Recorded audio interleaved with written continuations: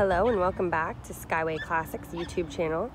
Today we have this awesome custom 1966 Ford Econoline forward driving van converted to a truck. This thing is completely custom redone from the wheels to the handles on the inside, obviously paint job. You have a beautiful wood grain, wood green truck bed and it sounds awesome. Just want to do a little walk around, show you some of the details. Go ahead and start her up for you. As you can see, super awesome paint job, seats redone, leather. We have the engine in this middle console here, which I'll open up and show you as well. All custom digital uh, gauges. You have your custom little radio that makes it look like it's, you know, from the day, from back in the day, but actually it's, it's a uh, updated one here. So I'll go ahead and start it up. You can see the little gear shift here. Super clean inside, super simple. Radio works.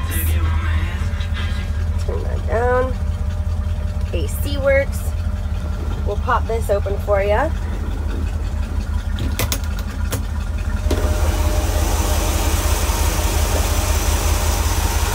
beautiful V8 engine.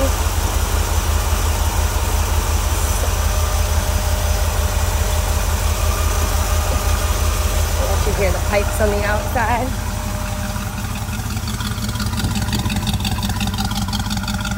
Got the side pipe.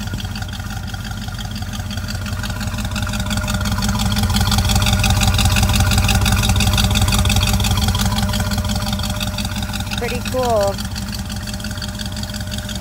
take this bad boy to a couple car shows. I'm sure you'd win a couple awards. I'm gonna go ahead and take it for a drive for you so you can see how it is in motion. Stay tuned. There we go. All right, we got the Econoline. Take this for a spin. Love the color. It is uh, manual steering, no power steering. So you actually got to drive curve. this thing. yeah, you feel the road with this guy nice, smooth, beautiful ride. Big old windshield. But this just glides. I absolutely love this driver. Brakes work nice and well. Feel this around the curve here. Very nice acceleration. It gets up and goes. Shifting. Yeah awesome, awesome driver. All right, we're gonna go ahead, turn this guy around, put her up on the hoist. Check out the bottom. Sounds good. Thank you.